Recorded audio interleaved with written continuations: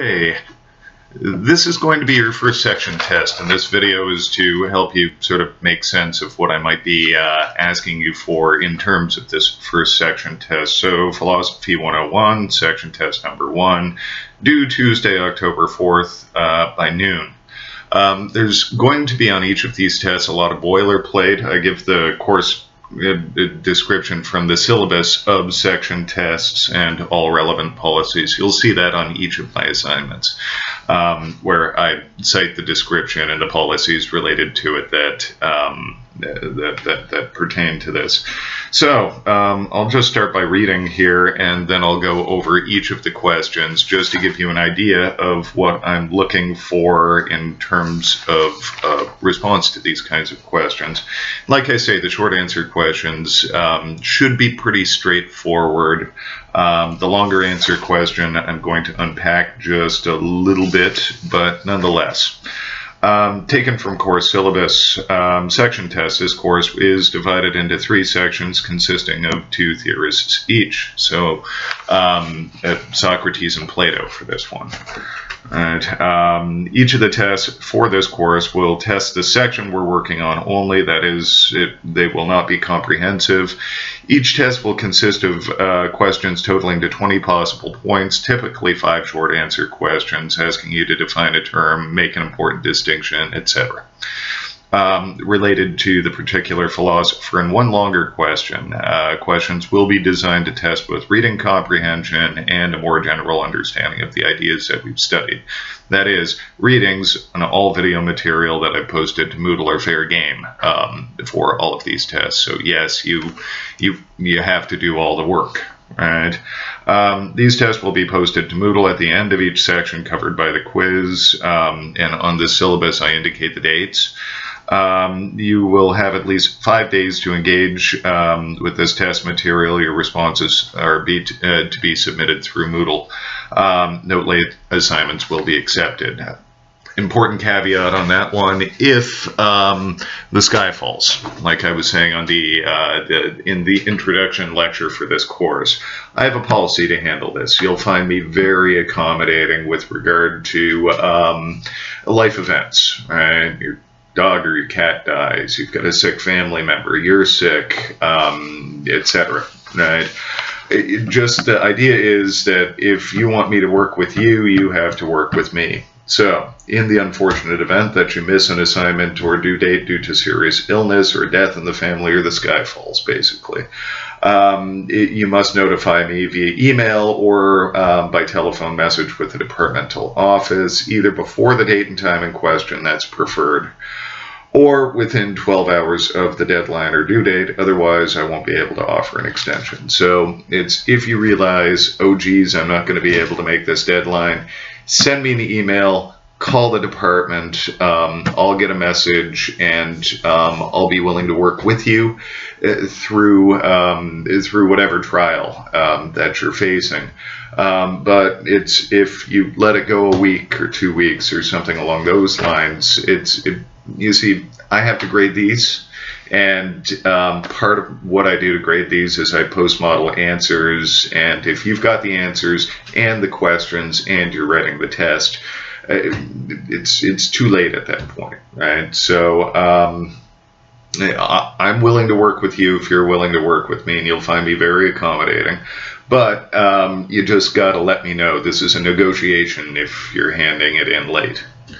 Uh, assignment submission. Note that it's your responsibility to ensure that your assignments have been properly uploaded to Moodle. When, I, uh, when you submit your assignment, be sure to double check that your upload was successful. If I do not have it, it's not there. All right. Um, so make sure you've properly uploaded to Moodle, and then on top of that, make sure it's the right document that you've uploaded to Moodle. Um, in past semesters, I've had people submitting assignments for other classes, and if I'm accepting that as an assignment, or this assignment, it doesn't address any of the, the, the questions, and again, I don't have it. So make sure that you get me the right assignment and it's properly uploaded. If you're completely freaking out about that and worried about um, proper uploads and stuff like that, and just not sure if it went through, email it to me too. That way, you're sure I've got it more than one way, right? Um, so uh, one last note um, about plagiarism. Familiarize yourself with the course policy and the OU policy on plagiarism. Um, I know it's going to be tempting looking at these questions and essentially having an open book test to just go online and see what SparkNotes says or Cheat House or something along those lines. But um, if you can find it, I can find it. I've got a wacky knack of determining exact, like, of, of, of sort of uh, sensing that what I'm reading didn't come from a student because there are ways that people on the internet and people you know, academics tend to write that students tend not to. So um, it's really obvious to me. Right, so um, I've got a zero tolerance policy on plagiarism. If you're using any textual material beyond your own reflections, you must provide a reference for your readers uh, to the source of that material.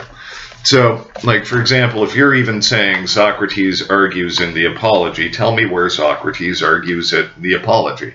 If you're using words that come from the Crito, tell me where in the Crito comes from. If you're using Joe Blow's analysis of Plato's Phaedrus online, well, tell me you're using Joe Blow's analysis of Phaedrus online and delineate what yours from the online uh, the online source. Uh, the easiest way to write these tests, though, is to just think about what you understand from this material and write it down, right? Largely, what you're being assessed for is not internet research, right? I want to know that you've read the material and that you've got a more general comprehension of this material. So read through the OU course, um, uh, the, the, the course and OU policies on plagiarism carefully and ensure that your submitted, submitted work is properly referenced. Um, if you don't know what plagiarism is and you don't know how to avoid it on the syllabus, I give you a, light, a link to SiteRite, which is an online pro training program that will show you how to properly reference and when that is required. Right? It's a very good program. Um, make use of it. It's your responsibility to uh, understand what plagiarism is. I've defined it nicely for you on the syllabus. Um, in terms of a particular reference style, I don't care. Right? Just so long as uh, the principle of, of, of referencing is is observed. Right? Like if you say uh, that Plato claims this, I should be able to go and find it right, if I'm looking. That's the idea. So if you're Chicago, your MLA, your APA, uh, that sort of thing, it doesn't matter, right? Not to me. Anyway, you'll find some professors are pickier. So, um, what are you responsible for in this test? Um, Plato's five dialogues, the Apology and the Crito, and Plato's Phaedrus, so what we've studied in course. Um, video material, Rick Roderick, Socrates, and the Examined Life video from 1990. That's You've got a link to that on Moodle. You've got links to all of these on Moodle. Um, Philosophy, A Guide to Happiness, Socrates on Self-Confidence, Plato's Theory of the Forms, Beginner, and School of Life Philosophy, Plato. Right, so those are the videos that you're responsible for, and um, several of them are going to be really quite handy for answering these questions. So, two parts to this short answer questions. There are five short answer questions worth two points each for a total of 10 points. Um, these are short answer questions, um, and by short I mean short, uh, requiring between three and five sentences for each response. Um, that's a rule of thumb, right? Um, three sentences is minimal, and expect um, that if you do the bare minimum, that your result will be sort of minimal as well right? Um, it's better to be clear. Remember, the course objective is to get you writing clearly about theory in your written work, right? So if you look at that that that that, that answer that you've provided and it's vague or unclear or um, something along those lines, you've given me an example but haven't unpacked it you may actually need to do more work, right? Um, if you're very concise, very concise, I've seen people succeed quite well on these. with very clear, incisive, concise responses of three sentences long, right? But that is the minimum I've ever seen anybody succeed with, right? You'll probably need more, right? Um, so uh, two points each, total 10 points. Um, this is uh, two on Socrates, two on Plato. That's or three on Plato. Uh, that's how this is laid out here. So Socrates, and I give you the page reference on page 35 of the five dialogues, presents an argument where he compares himself to a gadfly. So uh, that that directs you to the subject of the question. First part, in what respect is he like a gadfly? So the idea is unpack the metaphor. Right? So he says, I'm a gadfly. A gadfly is a gnat. It bites the horse on the ass and shocks the horse to alertness. But in what respect is Socrates like a gadfly? Right? How does he bite uh, the noble steed of the Athenian pop populace, shocking it to alertness? So the first step is unpack that metaphor. Right?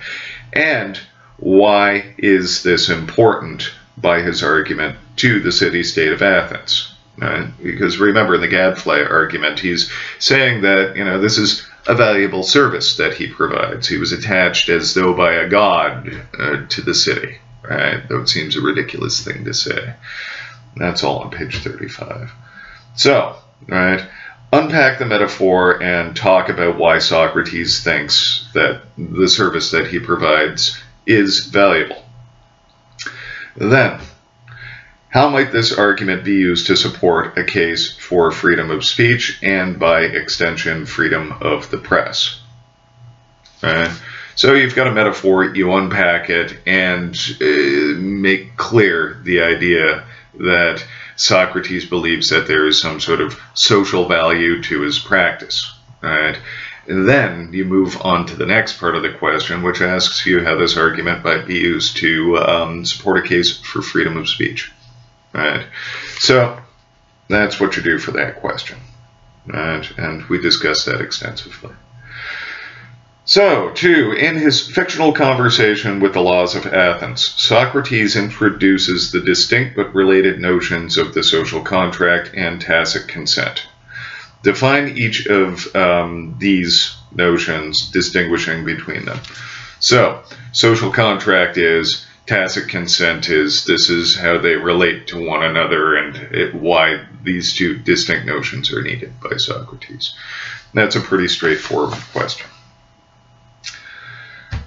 Question three, briefly discuss um, the constitution of the soul. And the, I referenced the passage on page 30 where he's saying this is what must be said about the soul's structure as well, offered by Plato at the start of Socrates' second speech. Now, I'm not looking for the argument for the immortality of the soul. It's bad. Just don't engage. There's no point. But what I am looking for is his dis description of the structure of the soul. He uses a metaphor, right? So, part one is um, briefly discuss, introduce, like Socrates' breakdown of the soul, the constitution of the soul, the structure of the soul. Um, next part, uh, how by this uh, by the argument offered in this speech does Platonic love bring harmony to the soul? So, uh, that should be pretty. It's I mean it's it's one of the key features of platonic love. Right. Then question four, um, it's straightforward, but it's complicated. Um, I gave you that um, Plato's Theory of the Forms beginner video, which should be quite helpful to um, your response to number four. Uh, we discussed it in terms of my cat and the idea of cat, right? Um, so, um, briefly introduce Plato's theory of the forms. Right? Tell me what the forms are. Right. So, um, that was question four. And then finally, question five, briefly discuss Plato's theory of recollection. Um, and then discuss how Platonic love brings us closer to knowledge of the forms, noting the special character of beauty. Right. Um, recall the theory of recollection is an argument that I presented you in lieu of that bad argument for the immortality of the soul. Um, uh, the theory of recollection is sort of based on the theory of the forms, which you've just, just discussed in question four, um, but it's largely Plato's epistemology. This is what learning is. Right, and with regard to his description of the benefits of that fourth kind of madness, love, um, what Plato has done is actually pointed out that beauty actually holds a special status and is very useful with regard to his epistemology. So um, that's part one. Um, should be fairly straightforward. If you have questions about the questions, let me know. Um, part two, the longer answer question, asks you to do something comparative. All right. So um, I always think of these questions as preparation for um, your essay, which will come in towards the end of the class. Uh, you'll be presenting an argument here. So longer answer questions require a minimum of three paragraphs in response. And by minimum, I mean just bare, I'm telling you how to get a C. Right? A paragraph consists of a minimum, again, that word minimum, of three sentences. Right? So minimally 369 sentences in response to these questions. That's, that's how you pass right? Um, the idea is that you're going to engage with this argument and argue it sort of till it's done. Don't go crazy, right? Um, I'm looking for about a page in response, more or less, right?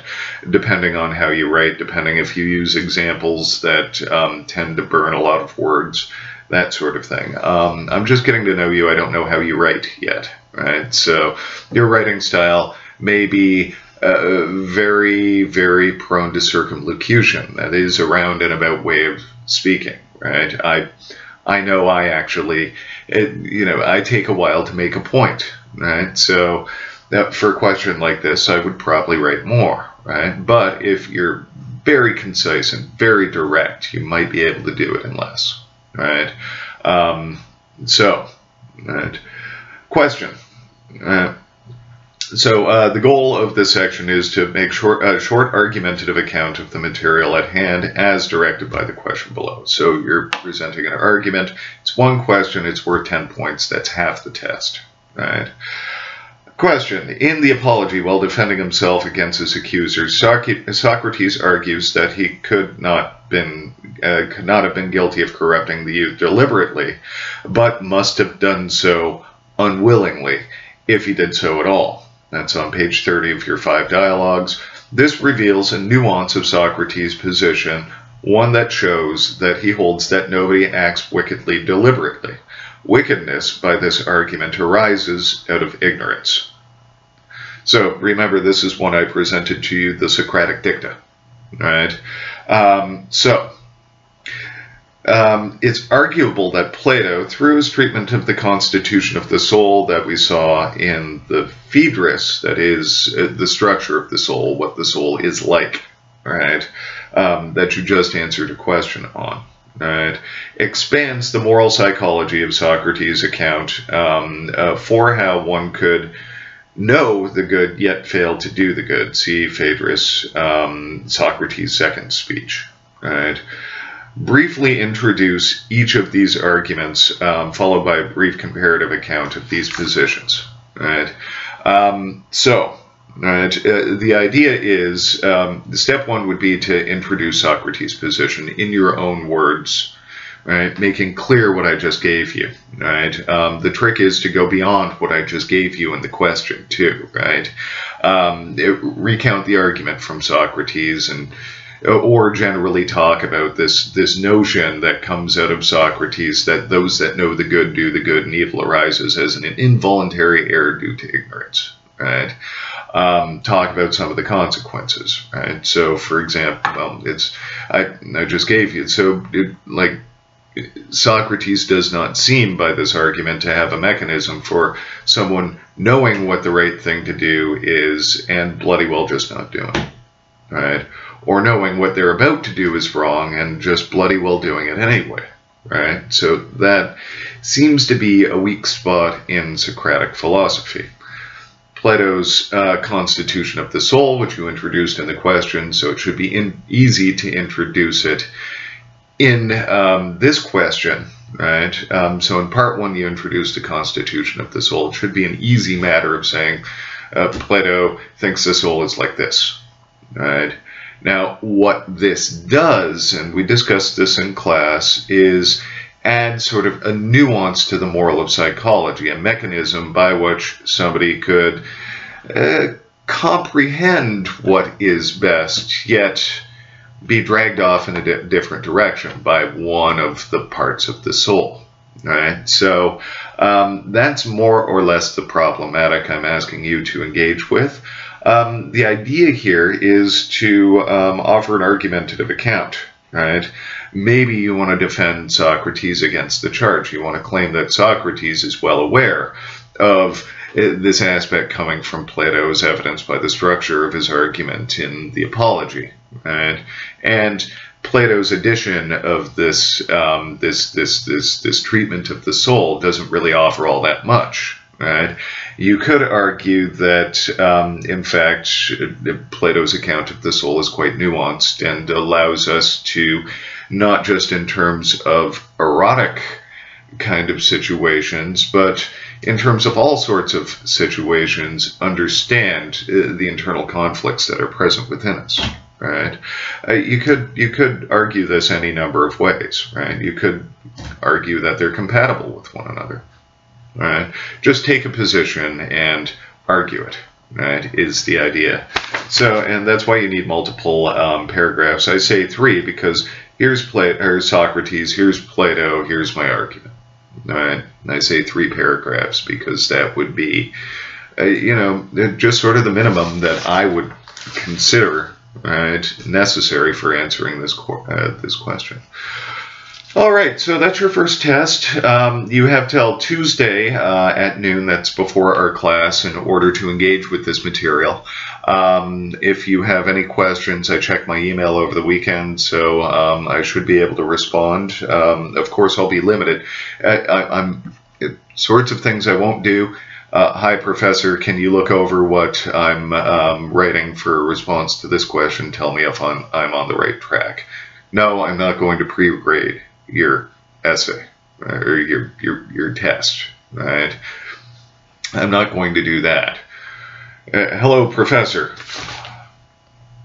I'm wondering, in his fictional conversation with the laws of Athens, uh, uh, Socrates um, introduces distinct and related related notions of social contract, uh, the social contract and tacit consent. Could you define each of these notions for for me and distinguish between them? I won't just answer a question for you. Um, what I will do, though, is um, coach you. Right? I will direct you to relevant passages. I will point you in the direction of uh, the, the material you need in order to answer these questions. Right? So, um, it, let me know if you need any help. I'd be more than happy to do what I can. And um, I look forward to reading your response.